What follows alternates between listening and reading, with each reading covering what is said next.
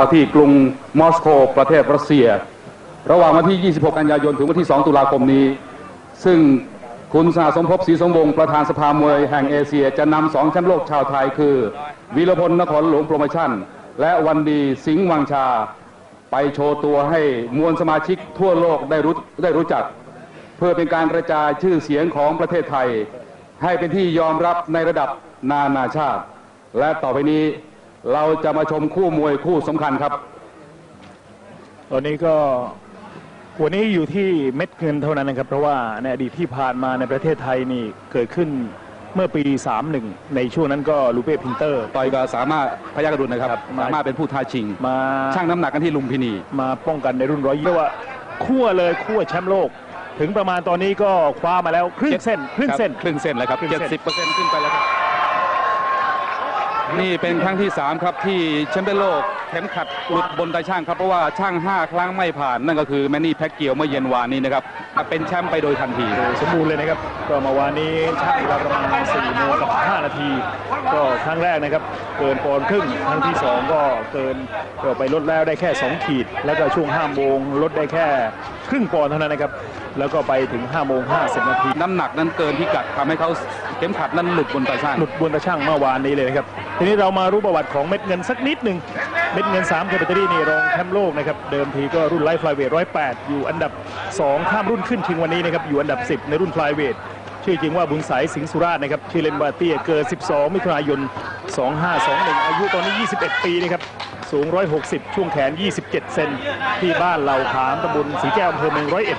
พ่อชื่อสมแม่ชื่อนางทองใบนะครับชกมวยไทยชื่อว่าเม็ดเงินนะครับลูกจุพมเหศักดิ์จะทำได้ในวันนี้แมนนี่แพ็กเกียวกับเม็ดเงินนั้นอายุเท่ากันนะครับ 21 ปีเท่ากันเกิด เกิดปีเดียวกันครับคือภายในปี 1978 หรือ 2521 ครับ ช่วงชกนั้นดูเหมือนว่าทางด้านแพ็กเกียวยาวกว่า 2 เซนนะครับ แต่ว่าสูงนั้นสูงกว่าเยอะครับครับ เรามาดูว่าแชมป์โลกรุ่นฟลายเวทคนแรกของไทยก็คือโผน กิ่งเพชรนะครับชิงได้ในวันที่10คู่สำคัญครับ ถึงแม้ว่า จะเป็นการต่อยกันนอกก็ขัดขาดครับเม็ดเงินจิ้มขวายาวได้ 2 หมัดครับถือว่าเป็นหมัดชัดๆ เพชรยินดีบ็อกซิ่งโปรโมชั่นขอขอบพระคุณพณฯ ท่านนายวันมูหะมัดนอร์ มะทาประธานรัฐสภาพลเอกมงคลอัมพรพิสิฏฐ์ ผู้บัญชาการทหารสูงสุดพลเอกชวลิตยงจยุทธอดีตนายกรัฐมนตรี และหัวหน้าพักความหวังใหม่ คุณเฉลิมพันธ์ศรีวิกร คุณเจริญสิริวัฒนพักดีบริษัทสุรามหาราษฎรจำกัดมหาชน คุณวิพัฒน์รัชกิจประการ คุณวิทวัฒน์วิภาคุณคุณนันต์ฉายแสง การปิโตรเลียมแห่งประเทศไทย บริษัทวิจิตรพันธ์ก่อสร้าง บริษัทสีแสงการโยธา และหนังสือพิมพ์สยามรัฐ วันนี้ก็ต้องขอขอบคุณทางนมนะครับ นม CP เมจินะครับในเครือเจริญพัฒนาซึ่งมามอบให้กับนักมวยไทยนะครับ เม็ดเงิน3เคแบตเตอรี่นี่กินได้ตลอดเลยนะครับ กินได้ตลอดปีตลอดชาติไปเลย นม CP เมจินะครับมาถึงยกที่สองแล้วครับ มาดูว่าวันนี้เม็ดเงินของเราจะทำได้หรือเปล่า เพราะว่าแพ็กเกียวหรือว่าปาเกียวนี่ชกมาทั้งหมดนะครับ 26 ครั้ง ก็เป็นการชนะน็อก 17 ครั้งนะครับ ก็ค่อนข้างอันตรายนะครับเพราะว่าถ้าจะดูช่วงชกดูช่วงแขนช่วงขานะครับ เม็ดเงินนั้นได้เปรียบสูงก็สูงกว่าด้วยครับ แต่ว่าเขาเสียเปรียบเมื่อวานคือน้ำหนักเกินแล้วลดค่อนข้างเยอะแล้วลดไม่ลงครับ แต่ว่า 24 ชั่วโมงที่ผ่านมานั้นอาจฟื้นได้นะครับ ของเราในช่างครั้งเดียวนะครับ ผ่านเลยทีเดียว 112 ปอนด์ของเขานี่กดว่ายังเกินอีก 8 ขีดเกือบเกือบ1ปอนด์นะครับดู แสดงแสดงว่าโครงสร้างรูปร่างนี่ไงไงไงเขาก็ใหญ่กว่าของเราแน่นอนนะครับ ดูเหมือนว่ายกที่สองนั้นมินิแพ็กเกียวนั้น เตรียมแผนรวดเร็วฉับพลันมาใช้เขาเรียกว่าสังเกตว่าเขาเก่งหมัดซ้ายแน่นเหลือเกินนะครับ เอาละครับ ไม่เงินไม่หวั่นเลยครับ ของเราต้องชกแผนนี้นะครับ เดินติดตลอดต้องชกใกล้ๆนะครับ เล่นลำตัวให้เยอะเบียดอีกเดินอีกเล่นลำตัวก่อนนะครับเพราะว่าลดน้ำหนักหมักโกรกเยอะนะครับ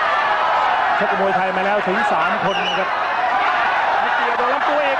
ของเราไม่ดีเนี่ยนะครับของเราได้แชมป์แล้วถ้าบอกว่าเกิดมาชนะวันนี้นะครับยังไงก็แชมป์เลยทีเดียวดูเหมือนว่าพี่เลี้ยงเทรนเนอร์พยัคฆ์ชอพิมลนั้นวางแผนถูกต้องนะครับนักมวยที่ลดน้ำหนักเยอะนั้น จะต้องนวดที่ลำตัวให้อ่อนลงมาก่อนต้องเล่นลำตัวก่อนนะครับ เรื่องเชิงประสบการณ์แล้วต้องยอมรับเขาสมัครเล่นมาแล้วนะครับ ถึง 64 ครั้งเดี๋ยวนี้เม็ดเงินเล่นลำตัวก่อนนะครับกรรมการผู้ห้ามชาวเม็กซิโกเดี๋ยวนี้เล่นลำตัวต่อยล่างตัดโบนเล่นอีกเป็นชุดแพ็กเกียวโดนเป็นพายุบุกแคมนะครับชุดนี้ชุดใหญ่ไล่เร็วอีกเร็วเล่นขายหมัดหนึ่งสองหมัดสามหมัดสี่หมัดแนะนลำตัวอีกเต็มเต็มนะครับแพ็กเกียวโดนมาอีก ยกที่สองผู้ชมครับกลับมาชมภาพช้าครับ ยกนี้ดูเม็ดเงินต่อยได้เนื้อเยอะเลยครับ ในขณะที่แพ็กเกียวนั้นออกทนถึงใจไฟแรงสูง คุณธรรมนูญวังหลีบริษัทการบินไทยจำกัดมหาชน ชมกันต่อครับ บนเวทีความตื่นเต้นนะครับขวาอีกหมัดหนึ่งเบียดไปเรื่อยนะครับแพ็กเกียวเริ่มจะหวาดเลยนะโดนขวาอีกหมัดหนึ่งทีนี้เม็ดเงินไล่เร็วนะครับ ขวาอย่าตกนะครับตกไม่ได้ด้วยต้องเบียดอีกแม่วันนี้แล้วชัดชัยเผลอแป๊บเดียวครับ แพ็กเกียวนั้นส่งมาซ้ายทำให้แพ็กเกียวนั้นทำให้ชัดชัยนั้นอยู่ไปเลยครับ มาชมบนเวทีนะครับมาตอนนี้ทีหนีกรูดกรูดแล้วนะครับถ่ายทอดไปฟิลิปปินส์ด้วยวันนี้ปากคอเริ่มจะเห็นเลือดมานิดหน่อยแล้วนะครับแพ็กเกียว ขวาอีกเป็นเงินย่างใจ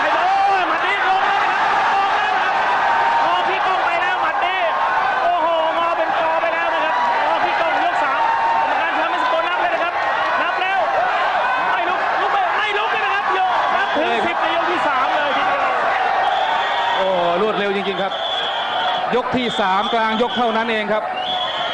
นี่คือความฝันอันสูงสุดของเม็ดเงิน 3K แบตเตอรี่ครับ แล้วก็เป็นความหวัง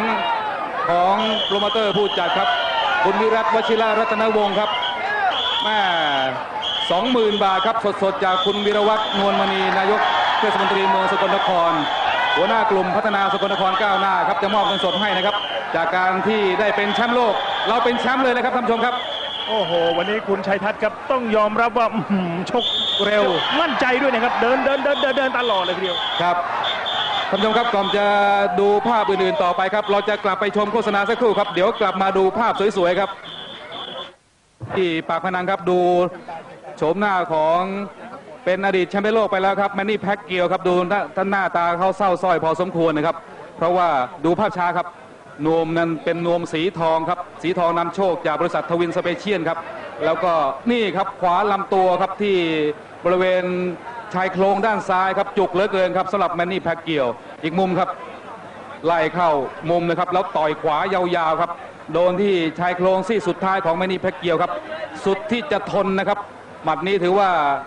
ต่อยได้เหมาะเหม็งแล้วก็ได้น้ำหนักครับนี่คล่อมนะครับ ตรงนี้ครับ ทีเดียวอยู่เลยครับแมนนี่แพ็กเกียว นี่เป็นแชมป์เปโลกคนที่ 48 ครับ ในขณะนี้นั้นท่านพลตำรวจตรีปรุงพานรองนะครับ จากร้านถมไทย เป็นขันน้ำพานรองมอบให้ด้วยครับ เชิญครับเชิญ จากคุณชัยยันวรรณแสนครับ ตัวแทนของร้านถมลายไทย มอบขันน้ำพานรองครับเงินสดครับเงินสดอีก